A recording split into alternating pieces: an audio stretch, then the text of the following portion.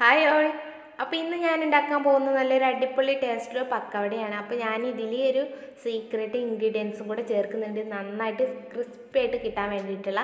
അപ്പോൾ നമുക്ക് എങ്ങനെയാണ് നോക്കാം? അതിന് മുമ്പ് നിങ്ങൾ ആരെങ്കിലും എന്റെ ചാനൽ ആദ്യമായിട്ട് കാണുന്നവരാണെങ്കിൽ ഒന്ന് സബ്സ്ക്രൈബ് ചെയ്യാം.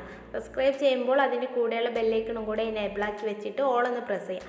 എങ്കിൽ ഞാൻ ഇടുന്ന വീഡിയോസിന്റെ നോട്ടിഫിക്കേഷൻ നിങ്ങൾക്ക് കറക്റ്റായിട്ട് നിങ്ങളുടെ ഫോണിൽ കിട്ടുന്നതായിരിക്കും. അപ്പോൾ നമുക്ക് വീഡിയോയിലോട്ട് കിടക്കാം. അപ്പോൾ ഇതിലേക്ക് വേണ്ടിയിട്ട് ഞാനിവിടെ ഒരു മൂന്ന് മീഡിയം സൈസ് സവാള ചെറുതാക്കി കൊത്തി അരിഞ്ഞിട്ട് ഉള്ളതാണ് എടുത്തിട്ടുള്ളത്. ഇനി അതിലേക്ക് നമുക്കൊരു രണ്ട് ടേബിൾ സ്പൂണ് വെളുത്തുള്ളി ചെറുതാക്കി അരിഞ്ഞതും അതേപോലെ തന്നെ ഇഞ്ചി ചെറുതാക്കി അരിഞ്ഞതും കൂടെ ചേർത്ത് കൊടുക്കാം.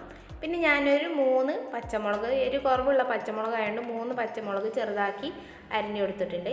അതേപോലെ കറിവേപ്പിലയും കൂടെ ചേർത്ത് കൊടുത്തിട്ടുണ്ട്. പിന്നെ നമുക്ക് ഇതിലേക്ക് ആവശ്യമായിട്ടുള്ള ഉപ്പ് ചേർത്ത് കൊടുക്കാം.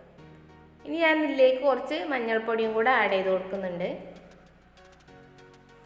അതിനുശേഷം നമുക്കിത് നല്ലതുപോലെ ഒന്ന് മിക്സ് ആക്കി കൊടുക്കാം. ഇൻഗ്രീഡിയൻസ് ഒക്കെ ഒന്ന് നന്നായിട്ടൊന്ന് മിക്സ് ആകുന്ന രീതിയിൽ നമുക്കിത് നന്നായിട്ടൊന്ന് മിക്സ് ആക്കി എടുക്കാം. അതിനുശേഷം ഞാൻ ഇതിലേക്ക് ഒരു സാധനം ചേർക്കുന്നുണ്ട്. ഇതെന്താ വെച്ചാൽ ബ്രെഡ് ഗംസ് ആണ്. ഞാൻ അപ്പോൾ ഞാനിത് ഇവിടെ ഒരു അഞ്ച് ബ്രെഡ് പൊടിച്ചിട്ട് എടുത്തതാണ്. അപ്പോൾ ഞാൻ ഇതാണ് പറഞ്ഞത്. നമ്മളെ ബ്രെഡ് അല്ല നമ്മളെ സോറി നമ്മളെ പക്കവട നന്നായിട്ട് ക്രിസ്പി ആയി നിൽക്കാനുള്ള ഇൻഗ്രീഡിയൻസ് എന്ന് പറഞ്ഞത് ഈ ബ്രെഡ് ഗംസ് ആണ്. അപ്പോൾ അതും കൂടെ ചേർത്ത് കൊടുത്തിട്ട് നമുക്കൊന്നും കൂടെ ഒന്ന് നന്നായിട്ട് മിക്സ് ചെയ്ത് കൊടുക്കാം. അപ്പോൾ ഇത് ഏകദേശം ഞാൻ നന്നായിട്ട് മിക്സ് ആക്കി എടുത്തിട്ടുണ്ട്. ഇനി അതിലേക്ക് ഞാനിവിടെ ഒരു മുക്കാൽ കപ്പ് കടലമാവ് എടുക്കുന്നുണ്ട്. അപ്പോൾ നമുക്ക് കുറേശ്ശെ ചേർത്തിട്ട് ഇതുപോലെ ഒന്ന് ഡ്രൈ ആയിട്ട് തന്നെ ഒന്ന് മിക്സ് ആക്കി എടുക്കാം.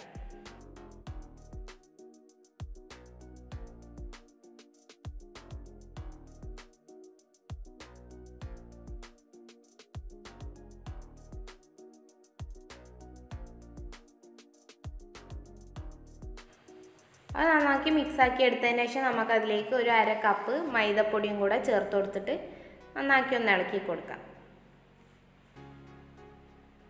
ഇനി നമുക്കിത് ആവശ്യത്തിന് വെള്ളം ഒഴിച്ചിട്ട് നമുക്ക് പക്കവട ഉണ്ടാക്കാൻ പാകത്തിലുള്ള രീതിയിൽ ഒന്ന് ഇത് കുഴച്ചെടുക്കാം. അപ്പം വെള്ളം ഏറി പോവരുത് പാകത്തിനായി കിട്ടണം.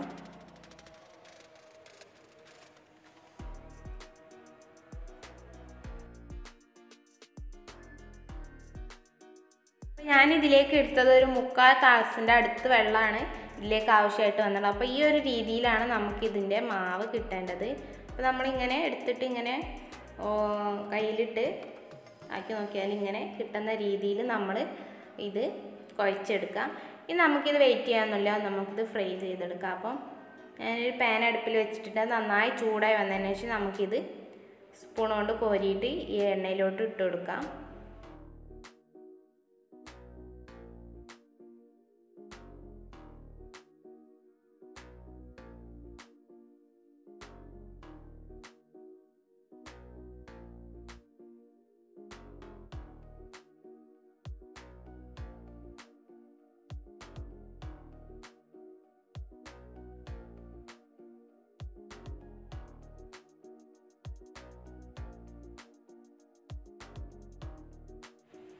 ഇനി ഇതിന്റെ അടിഭാഗം ഒന്ന് ജസ്റ്റ് ഒന്ന് ഫ്രൈ ആയി വന്ന ഒരു ബ്രൗൺ കളറൊക്കെ ആയി കിട്ടിയാൽ നമുക്കിതൊന്ന് മറിച്ചിട്ട് കൊടുക്കാം.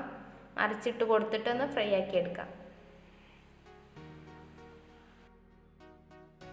അപ്പോൾ ഇത് നമ്മൾ ഫ്രൈ ആക്കി എടുക്കുമ്പോൾ ഹൈ ഫ്ലെയിമിലാക്കി വെക്കരുത് കേട്ടോ ഫ്ലെയിം ലോ ടു മീഡിയം ഫ്ലെയിമിലാക്കി വെച്ചാൽ നമുക്ക് ഇതിന്റെ ഉൾഭാഗമൊക്കെ നന്നായിട്ട് ക്രിസ്പിയായി കിട്ടുള്ളൂ. അല്ലെങ്കിൽ പുറം ഭാഗം നന്നായി പെട്ടെന്ന് കരിഞ്ഞു പോവേ ഉള്ളൂ ഉൾഭാഗം ക്രിസ്പി ആയി കിട്ടില്ല അപ്പോൾ നമ്മുടെ പക്കവട ഇവിടെ റെഡി ആയിട്ടുണ്ട്. ഇനി നമുക്കിത് കോരിയെടുത്തിട്ട് ബാക്കിയുള്ള മാവും കൂടെ നമുക്ക് ഈ ഒരു രീതിയിൽ തന്നെ ഫ്രൈ ചെയ്തെടുക്കാം.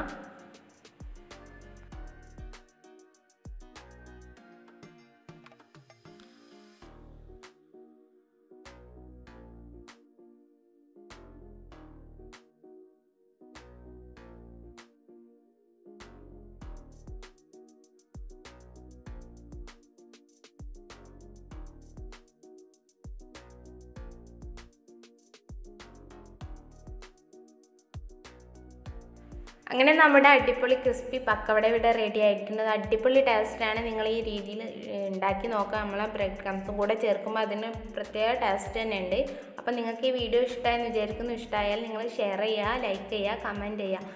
അപ്പോൾ നിങ്ങൾ കൂട്ടുകാർക്കൊക്കെ ഷെയർ ചെയ്ത് കൊടുക്കട്ടോ. അതേപോലെ തന്നെ ആദ്യം പറഞ്ഞ പോലെ തന്നെ ആരെങ്കിലും ഈ ചാനൽ ആദ്യമായിട്ട് കാണുന്നവരുണ്ടെങ്കിൽ ഒന്ന് സബ്സ്ക്രൈബ് ചെയ്യട്ടോ.